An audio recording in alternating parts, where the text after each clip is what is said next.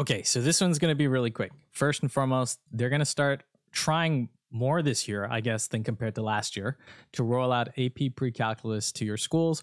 Your schools will let you know, ideally, whether or not, sorry about that, whether or not uh, they'll be adopting this. If you could see right here, adopt AP pre-calculus, and this is for kind of like your school administrators to go through to see if they want to take this on. The reason why you'd want to do this, uh, Uh, whether or not it, it's warranted, and there's some debate of whether this is even necessary, and uh, regardless of any of all that, okay, what I see is that pre AP an AP exam for or AP pre-calculus allows potentially a ninth grader to take an AP course and uh, get and take an exam in May and get a score.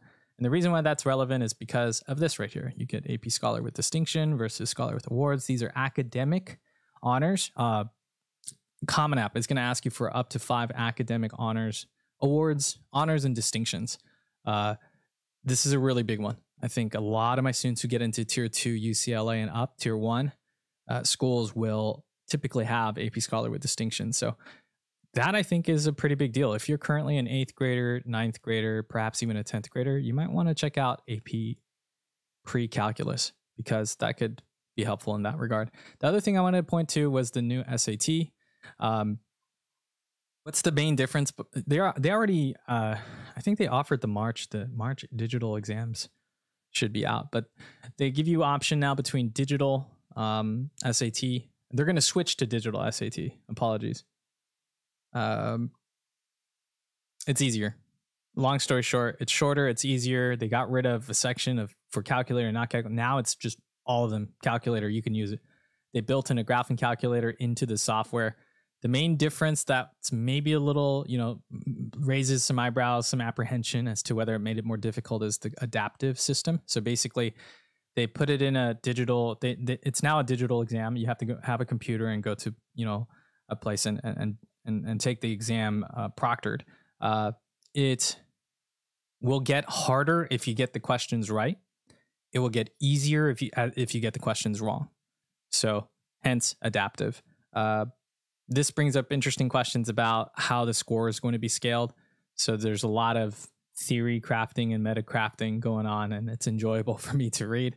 But it doesn't seem like the scaling has changed much. On one end of a baseline, uh, I, I was reading the results or the outcome that they projected, and it's you know it's kind of a difficult type of regular 2400 exam where or 1600 current exam sorry where um, typically it's like 30 question 30 points off for the first question wrong 20 points off for the second question wrong and then as you go down it it kind of um, diminishes in its in its uh, um, penalty I don't know why it's so hard for me to explain that. Anyways, yeah, so like 30, 20, 10, 10, 10. Uh, if this doesn't make any sense to you, just understand that it's going to be relatively the same in how punishing it is for each question you get wrong. Uh, for me, though, the main difference is the actual questions themselves. So I had a chance to check it out. So you can go to College Board, and uh, I've taken the first and the second one now, guys. I'm not going to tell you how I did. I did all right. Uh, obviously, to me, it felt super easy. Uh, more so than even the current the, the 1600 versions. In fact, it's it's changed my mind now to I want all of my students to just if they can take the digital SAT to just go with that one instead because it, to me I think it's an easier exam to study for to to get good grade to to get good uh to get better at. Um, it's a mixture of old old 1600 back in like the 1990s uh, where they had almost like a sentence completion kind of vibe coming back. It's worth checking out. That's all I needed to say for today. Uh, yeah, new AP this year for next year, new digital SAT for this year and continuing on. It's a new world. I'm hoping that my seniors who applied uh, this cycle are going to be coming out with good news in March. But until then, I'll see you guys around.